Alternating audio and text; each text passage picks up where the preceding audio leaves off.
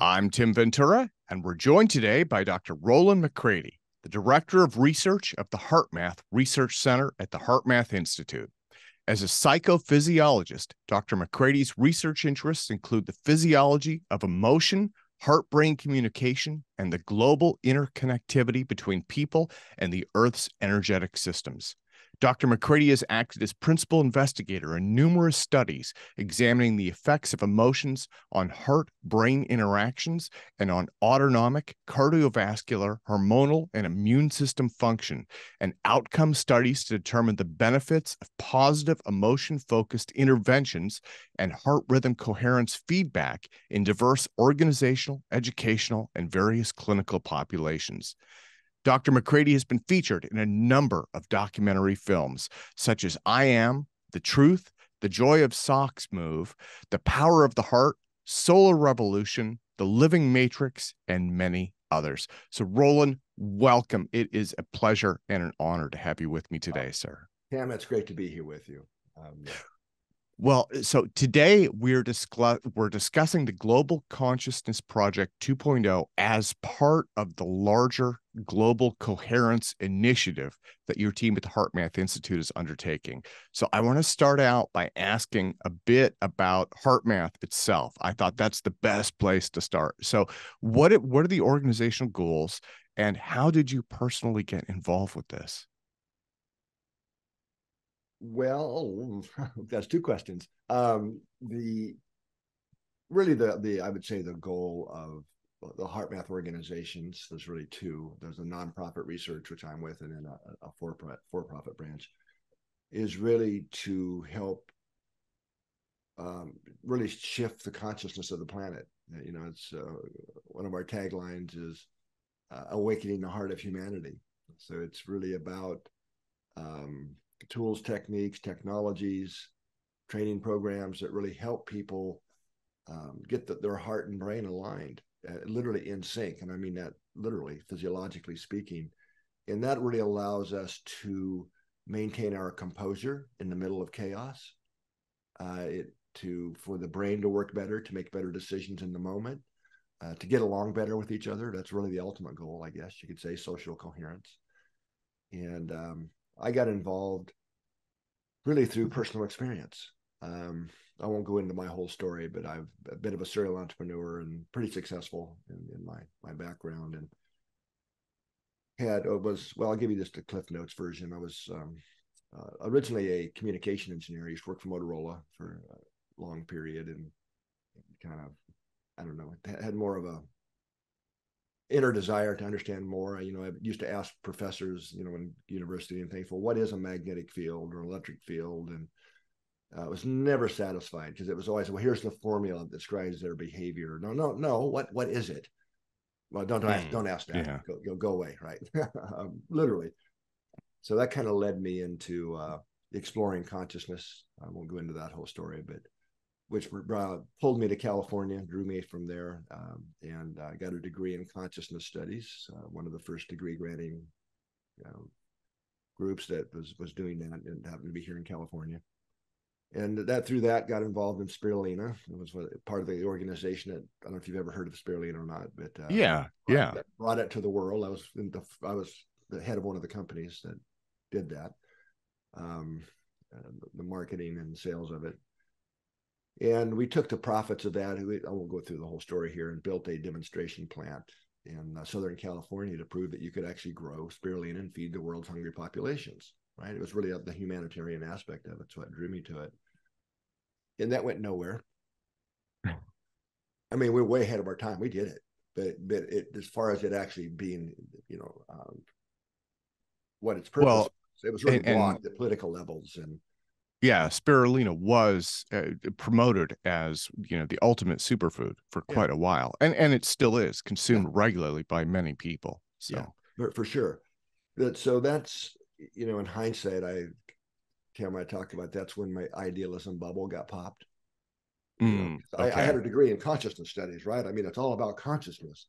Well, yeah, but that became a very visceral understanding no it's a problem in consciousness we had the technology right it was um, it was really political blockages and all the stuff that went on. That's where why it didn't go anywhere.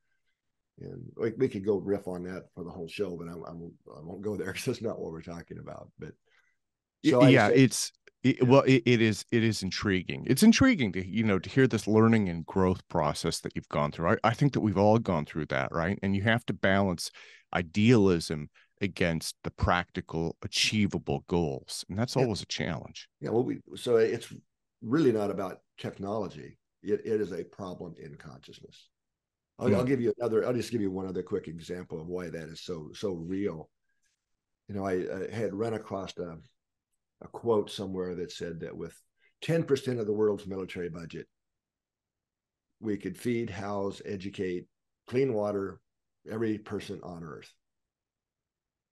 And I could never track down. You know, I don't like to reference things that I don't really know the source for, and and I, I, I got her book right here. I find, a couple of years ago ran into Scilla um, Elworthy, who wrote the book Business Plan for Peace. Ah, okay. And we were having a meeting here, and and uh, she was visiting. And I, I asked her about that because I figured she knew, and she goes, "No, no, no, no, Rollin, that's not that's not right." And I'm, "Oh, okay." She goes, "It's far less than ten percent of the world's military budget." That's a problem in consciousness. Yeah, yeah. Right? Right? Well we and, and I, I think awareness and focus right? It and and paradigms. I think that's yeah. Yeah.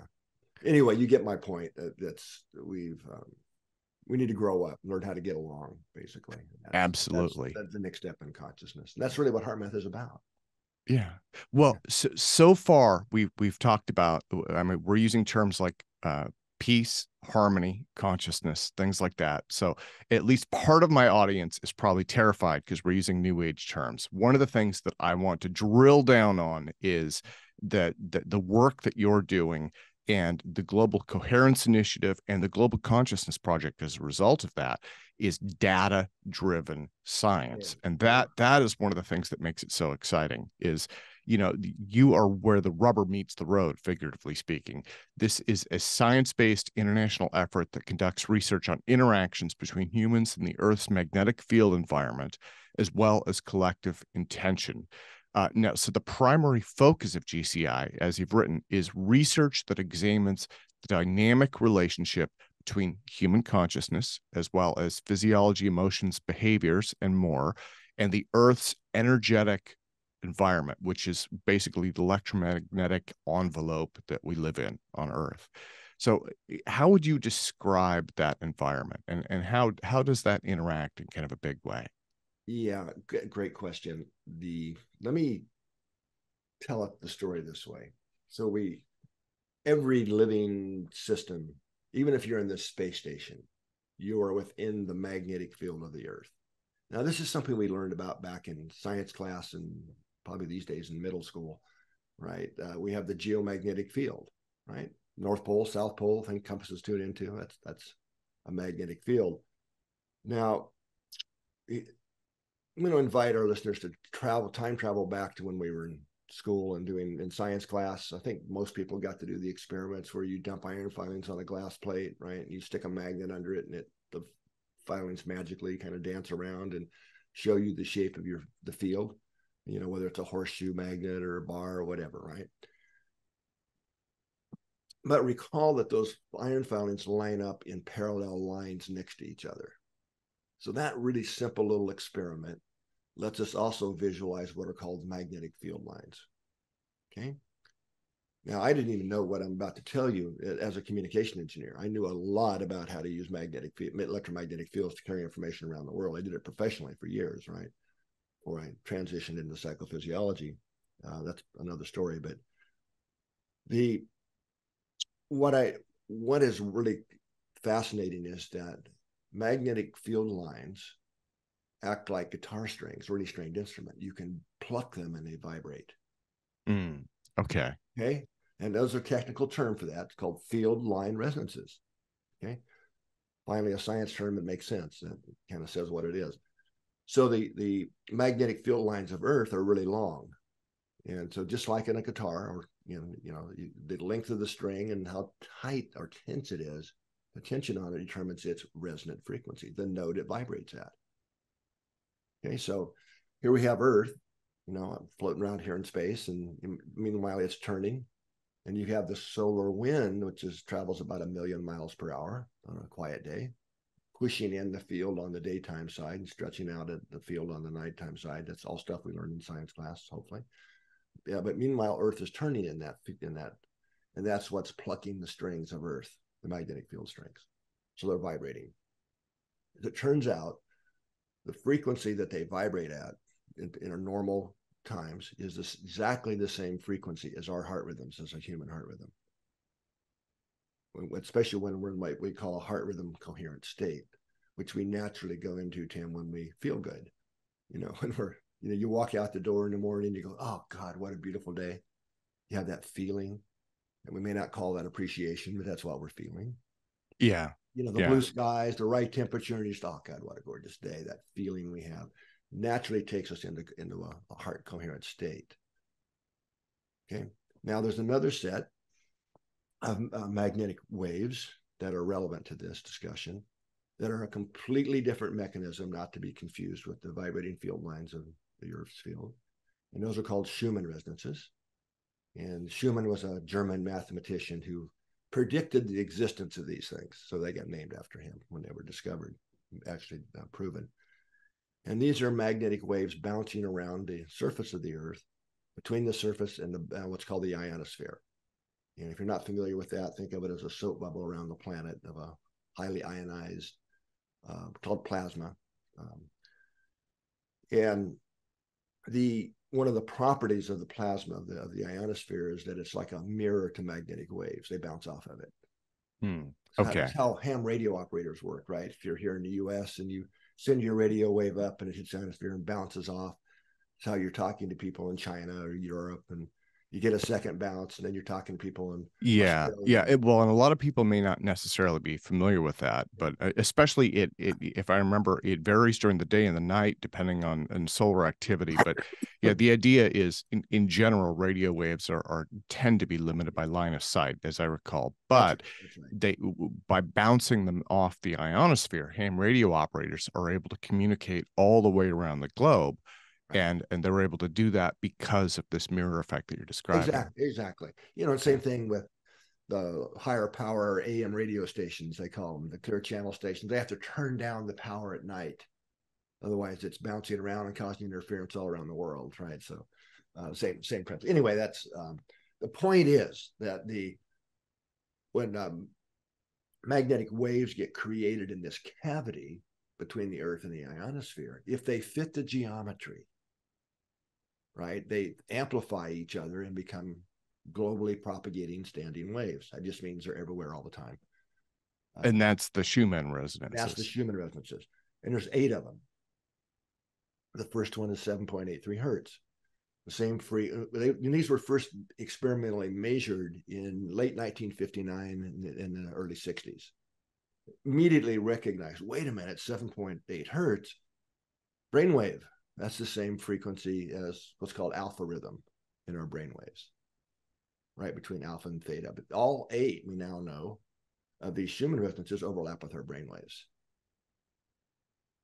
Well, so what? You might ask me. Um, back to science class again.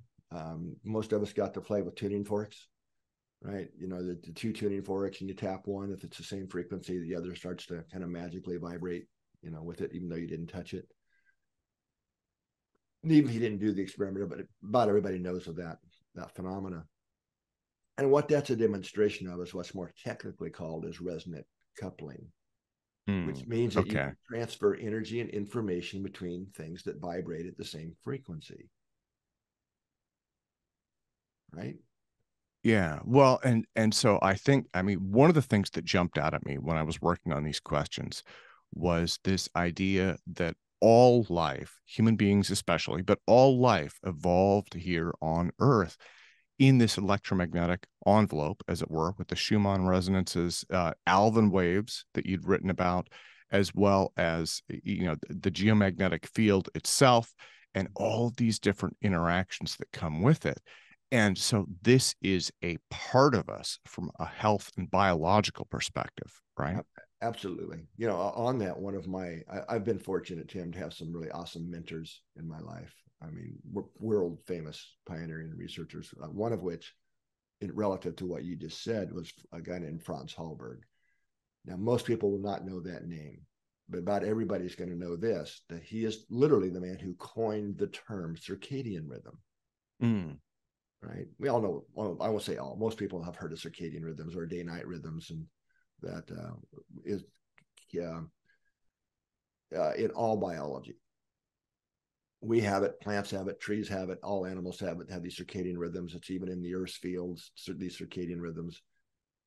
And what uh, Dr. Halberg suggested um, before he was pretty vocal about it, actually, says we have the the rhythms in our body and on our physiology, and plants have the rhythms they have, and we all have the same rhythms because we evolved in the vibrating frequencies of the Earth's fields. Yeah, of what you were alluding to, I think. Well, and, and there there are so many things that could potentially come out of that, right? I mean, so one of those would be if those rhythms, if those waves change, if they're misaligned, then there might be biological stress that results, exactly. right? Exactly. And, and, and, hundreds of papers have shown that, hundreds of studies, that uh, we like to live in a coherent field environment. Yeah. Right. One that matches us, when we're in sync, when we're when our rhythms are matched with the rhythms in, in the, the field we live in, um, we do better. Uh, we feel better. We sleep better, etc it's when those external rhythms get disturbed that isn't so good that uh, people well it, and you know I, I'm I'm jumping around in my questions a little bit, so you know pl- please bear with me. But one of the things when I was working on these, and I remember this from many years ago, about 20 years ago, Washington State, because I'm in the Seattle area, we had a couple of pretty big earthquakes, and those are very rare. We have a lot of really low grade tectonic activity, but you know, big ones are are rare for us, whereas in California they happen fairly often. And one of the things that I recall was in both cases, uh, before they happened, it was one of those things that sticks in your head. I, things seemed very quiet, right? And and w- with one of those, I was actually outside and I didn't hear any birds chirping and it just seemed quiet. And and I thought, well, that's strange. And you know, and then the earthquake happened. Well, those those have electromagnetic activity and then animals can sense that. And so I to, for me, this kind of aligns to some degree with what you're saying about again, this is the environment that we evolved in and there are things that we've adapted to that we're probably not even aware of. They're just part of us right? And they're part of all life. Right. Yeah exactly. Um, we now know by the way that you can measure that there are magnetic changes in the field environment that precede larger earthquakes. Yeah yeah. So you were you were just you were feeling that you were tuned into it or just you were observing the effects of that. And you're right animals are way tuned in um, to these changes. Well, so part of this project is the global coherence monitoring system. Again, you guys are deeply involved with the science and the data, which I think is amazing because it's it's one thing to have observations and predictions, but it's another thing to go out there and measure data and use that to confirm and reinforce and potentially disprove, you know, other other hypotheses. So the Global Coherence Monitoring System is comprised of a network of six magnetometers that are designed to measure geomagnetic and resonant frequencies in the Earth's magnetic field. This includes the Schumann resonances, the Alfvén waves, and the other field line resonances. And as, as I understand things from what I've read, you've got these things tuned in so that you've got time and GPS coordinates locked into them, right? So, really precision measurements. Can you tell me a little bit about that? Well, yeah, these are um, well, yeah, there's they are these are state of the art magnetometers specifically designed to measure the the moving fields, the vibrating fields, and that's different. I wish we didn't have to do this ourselves. This is really expensive and a, not an easy thing to, to find these sites around the world. Um, but yeah, we have sites like you said in Saudi Arabia is one, uh, Lithuania, South Africa, New Zealand, northern Canada, and here in California, and, and uh, some more. We would have had a couple more out if it hadn't been for the COVID and all that stuff. But so these are time synchronized, calibrated systems. So it's it's really the only global monitoring system looking at all these vibrating fields that we live in that exist uh, uh, that certainly that we know of. So we have we know really what the field environment of the earth is at, uh, at full all the time. This is 24 7 year, year after year monitoring the fields of the earth. And the reason we're doing that is certainly we've been talking about how the fields affect us and there's absolutely no question that we're affected people have different sensitivities to it but but all life on earth is affected by the field environments. You know, you may wake up in the morning just feeling out of sorts. You know, um, yeah. no reason. You know, it's not like you had an argument or something or ate some weird food or something. You just wake up feeling edgy, out of sorts. A lot of times, if you go check space weather, you know, you find that we had a magnetic storm, as it's called. The, field is incoherent. Uh, so that's one of the ways we feel that, or we just don't sleep as well, or we're a little edgier. These kinds of things are, are typical symptoms of that but our our interest goes a lot deeper than that. I mean, um, we we know we're affected by the field. That's that's just confirmed in gazillions of studies now. What I'm suggesting is, Tim, that it's a two way street. Not only are because of the resonance principles, that's the mechanism, that we also interact with and feed information into that field based on especially what we're our emotional state, what we're feeling, but thoughts and feelings are also being broadcast. Now that may sound new age and wacko, but no, uh, we published a lot of papers on this. And just to I just connect the dot here, Tim, so we when we put electrodes across the body, across the chest to measure the electrocardiogram, the heartbeat. Well, it's called the electrocardiogram for a reason. We are measuring electrical current flow or we put them on the head to measure brain waves, electroencephalogram, same same thing. Those electrodes are measuring literally the flow of electrical current. Now, physics 101, right? Whenever you have a current flow, you create a magnetic field. And magnetic and electric fields are different things, by the way. We call it electromagnetism because one can produce the other, but they're they have very different properties. Now, one of the properties of magnetic fields is they go through things. And if you don't believe me, stop using your cell phone indoors. Right. Um, so there's the magnetic component that goes through the walls, the windows, whatever, to carry the information from your phone to the cell tower. And I, I, from my perspective, the more I've learned about this, the more I'm starting to understand that all of our technology is mirroring what nature already invented. Well, and, and um, actually, again, I, I'm jumping around, but I have to ask about that because so much of our technology uses electromagnetism yeah. you know does that disrupt these fields does that disrupt the synchronization with these fields yeah probably not because they're such different frequency okay okay but but that's a whole other topic now uh, don't get me all um, no matter what i say there i'm going to upset somebody uh, um, the but the, the, point I'm making is is that the fields that we generate by the heart are quite large. They're millivolts, and they produce magnetic fields that we can measure external to the body quite easily. Yeah, with a, use a device called a magnetometer. The electrodes don't see the magnetic field; they just see the current flow. So you can measure the human heartbeat feet away from the body with um, you know sensitive magnetometers. So, and then one of the other things we showed in our in our early research back in the 90s was this is where my communication engineering background came in handy because using almost exactly the same techniques we would use to decode or demodulate the information being carried by a, what's called a carrier wave, right, in a radio of train of any kind. Used to, we can apply those same techniques to the field being generated by the heart and lo and behold, we are we are now able to tell what somebody's feeling, their emotional state, with about 75% accuracy, just by sticking a probe out here in space and measuring the information being carried by the field. Yeah. Well, and it, one of the things that comes to my mind is, uh, you know, um, people might look at this and say, well, you know, why would you need communication for magnetic fields when you could just talk? And I, I think that the one of the things again that that I would remind the audience of is this is evolutionary. And so this existed long before communication. And of course, most animals aren't able to talk, right? And so this is something that all life can use.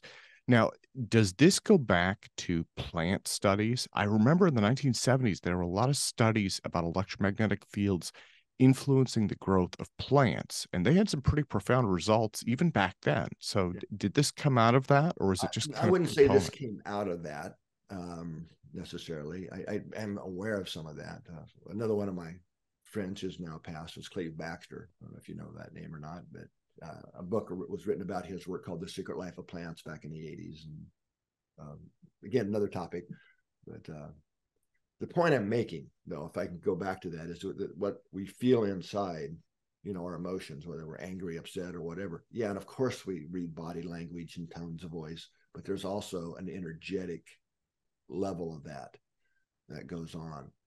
That not only are we radiating those fields, our nervous systems are think of as a big antenna.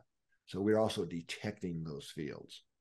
And, and we all know this, you know, um, it's in our language. You know, the tension was so thick in the room, you could have cut it with a knife and have all these. Yeah.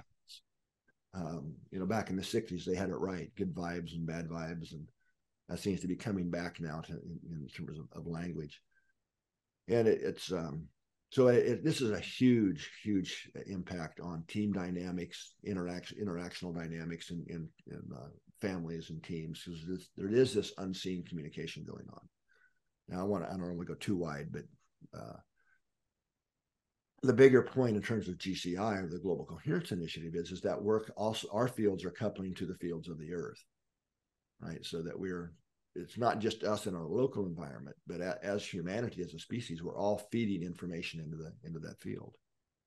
And so, if a lot of people feel something at the same time, like a big a big news event happens, and a lot of people are, are shocked or angry, you know, that a lot of people feeling that that puts a pulse into the field that can be measured in other ways. In fact, I think you're going to be interviewing one of my colleagues, Nakam, about uh, a Aplanka about one of the other ways that can be measured. Yeah. Yeah. And that that goes back to the Global Consciousness Project. Yeah. Yeah. So again, kind of a two-way communication. Well, the scientific paper that you gave me for this was entitled Consciousness, the Human Heart, and the Global Energetic Field Environment. And I'm going to put a link into that as well as the HeartMath Institute in the show notes. So, one of the things that I found when I went through this was the amount of data and studies and evidence that you've cited is just overwhelming. I, when I was reading through it, I was like, I don't even know how to cite this because there's so much here. But for instance, um, so one of the things that you talked about, and I, I don't have his name written down in my notes, was a Russian scientist who did research indicating that crime rates and violence went up during periods of heightened solar activity yeah, Alexander Chizhevsky, and um, he's kind of the father of the field of now called heliobiology, the sun effects on on our biology. And what what he showed was was um, really really amazing. I was first turned on to this his work by Dr. Halberg, actually, who I mentioned earlier. It was kind of mentoring. Said, Rollin, if you're going to be in this business, you gotta you gotta know the history. You know, uh, uh, so he took me back to him.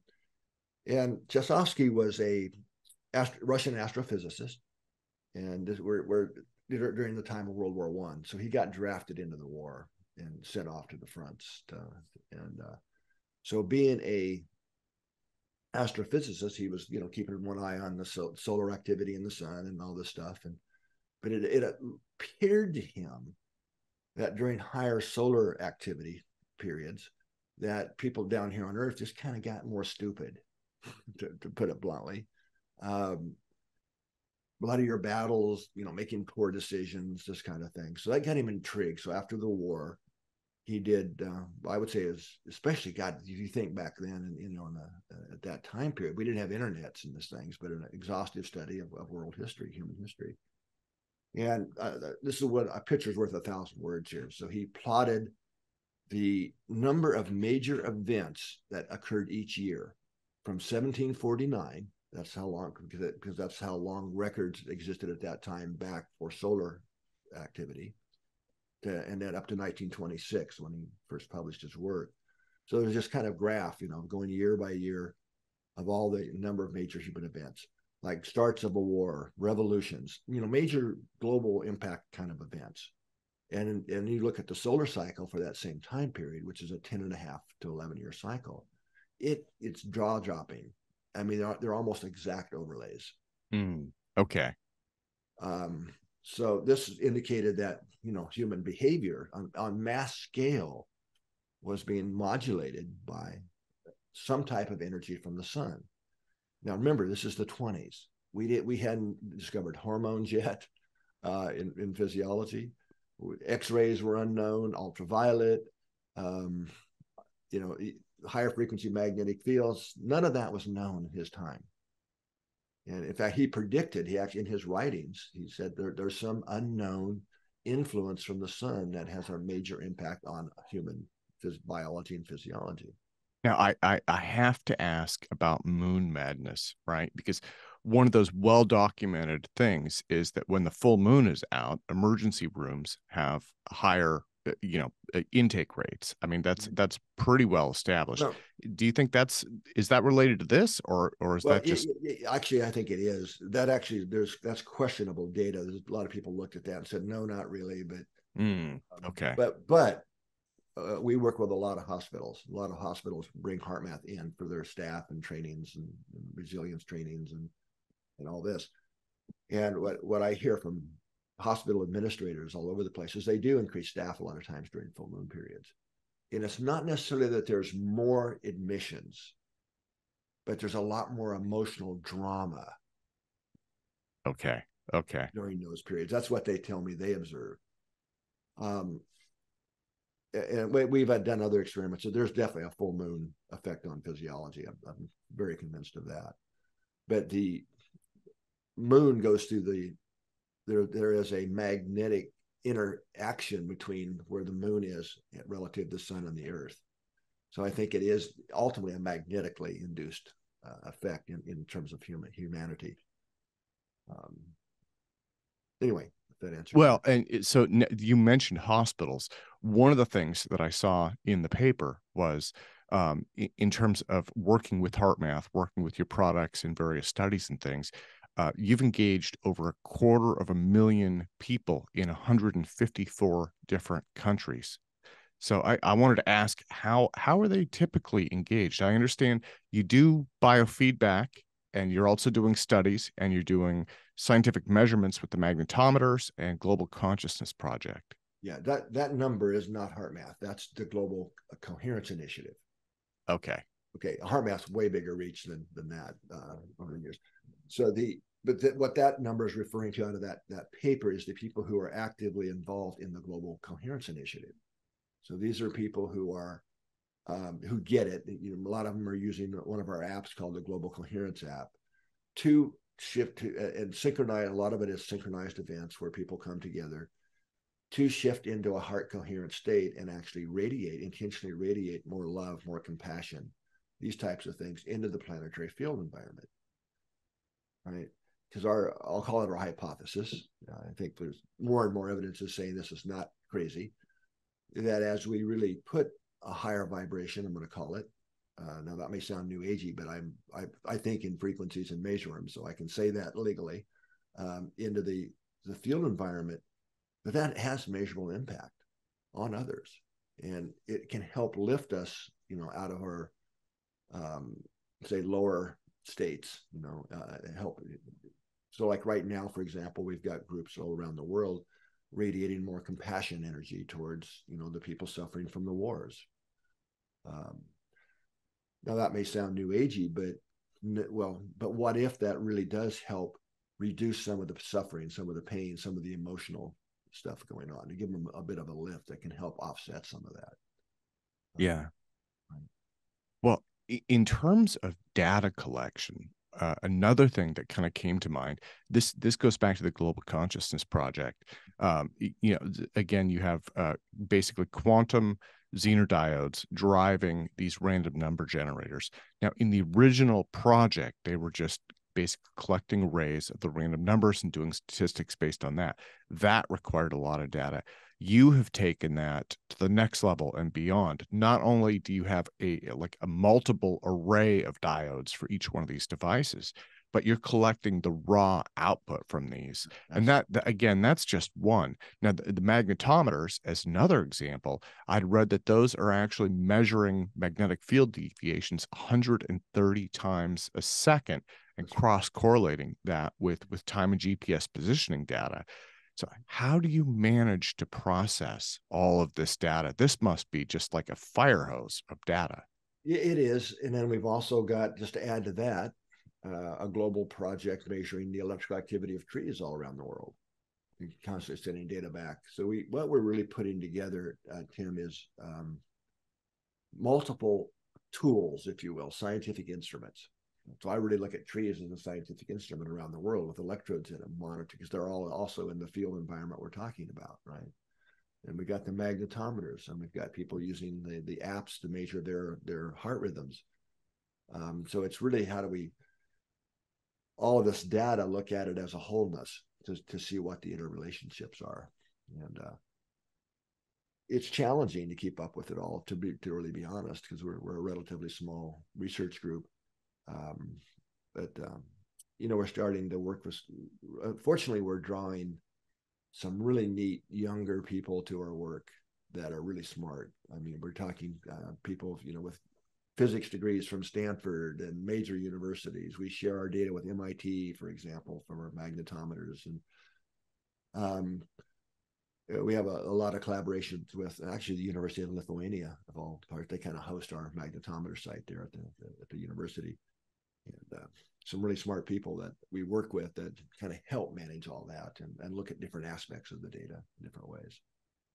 Yeah. So lots and lots of data, lots and lots of information And it, it to me this it seems like it is so useful in terms of you know flushing out the details of uh, you know uh, i mean again all of us evolved inside of this right and it has these subtle influences and one of the things that i thought about was uh, elon musk and others have talked about colonizing other planets right?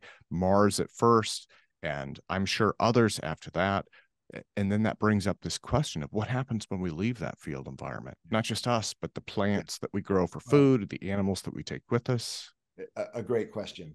And what in fact one of our collaborators that we've actually published a couple papers with uh, is a, a, pretty high level scientist at nasa and um, nasa ames just not too far from us here where, where we're located and he's another really smart guy uh, molecular biologist and uh, I'm going to say he believes, but he believes this because of his data. I mean, he's a yeah. pretty hardcore researcher that healthy biological function, right down to the cell level, requires existing in the fields of the earth, the, these external field environments.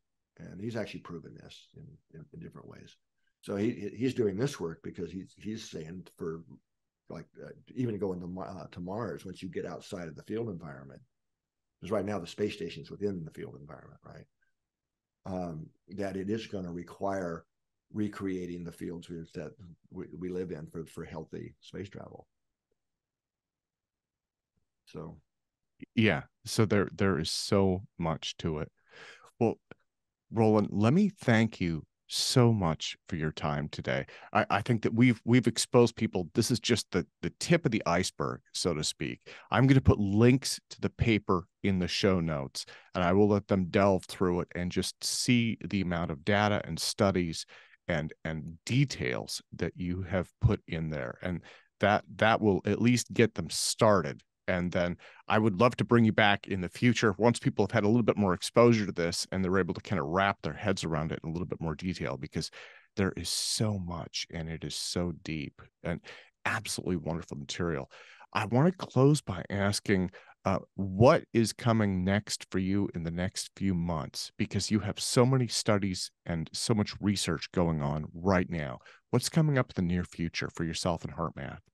Well, uh, a couple things. The um, of course the the which I, you're going to be I know talking with Nachum, the Global Consciousness Project 2.0. That's really focused on getting that rolled out. That's getting a thousand of these devices around all around the world, uh, feeding information back in to give us another tool for measuring the the effects the, what I think of as the global con- the field of global consciousness.